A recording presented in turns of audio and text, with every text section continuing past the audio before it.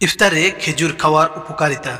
চলছে পবিত্র রমজান মাস, খেজুর দিয়ে রোজা ভাঙ্গা রমজানের ঐতিহ্য।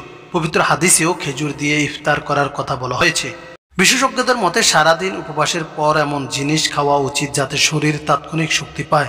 এক্ষেত্রে খেজুরের তুলনা নেই। খেজুর খেতে যেমন সুস্বাদু, তেমনি খুবই পুষ্টিকর। খেজুরকে প্রাকৃতিক শক্তির উৎস বলা হয়।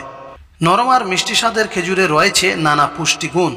স্থানভেদে এক এক এলাকায় খেজুর এক এক রঙের হয়, কিন্তু সব রঙের খেজুরের কোনো না কোনো পুষ্টিগুণ রয়েছে। বিশেষ করে একটু কালচে রঙের খেজুরে iron, calcium, sulphur, copper magnesium phosphorus, folic acid, protein ও ভিটামিনে ভরপুর থাকে।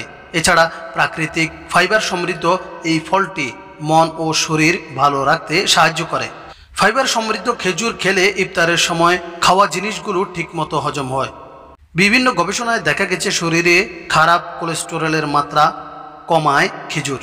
এছাড়া রক্তে শর্করা পরিমাণও নিয়ন্ত্রণ করে। এ কারণে এটি ডায়াবেটিস রোগীদের জন্য বেশ উপকারী। খেজুর সহজে হজম হয়, তাই এটি খালি পেটে খেলেও কোনো ক্ষতি নেই।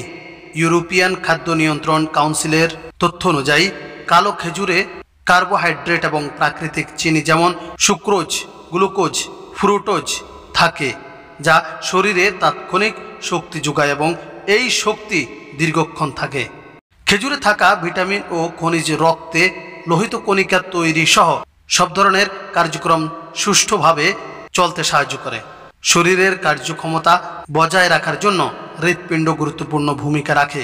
সব ধরনের কিংবা রঙের খেজুরে অল্প পরিমাণে সোডিয়াম এবং বেশি পরিমাণে পটাশিয়াম থাকে। এটা হৃৎপিণ্ড ভালো রাখতে সাহায্য করে এবং স্ট্রোকের ঝুঁকিও কমায়। খেজুরে থাকা উচ্চমাত্রার ভিটামিন বি নার্ভকে শান্ত করে, রক্তচাপ কমাতে সহায়তা করে। তাই যাদের উচ্চ রক্তচাপ আছে, তারা খেজুর খেতে পারেন। খেজুর ত্বকের সুরক্ষায়ও দারুণ কাজ করে। নিয়মিত খেজুর খেলে হজম শক্তি বাড়ে, সেই সঙ্গে ত্বক থাকে ঝলমলে। খেজুর চুলের জন্য বেশ উপকারী। এর পুষ্টিগুণ থাকায় শরীর ভালো রাখতে বিশেষজ্ঞরা তাই দিনে অন্তত দুই একটি করে খেজুর খাওয়ার পরামর্শ দিয়েছেন, সূত্র স্টাইল ক্রেজ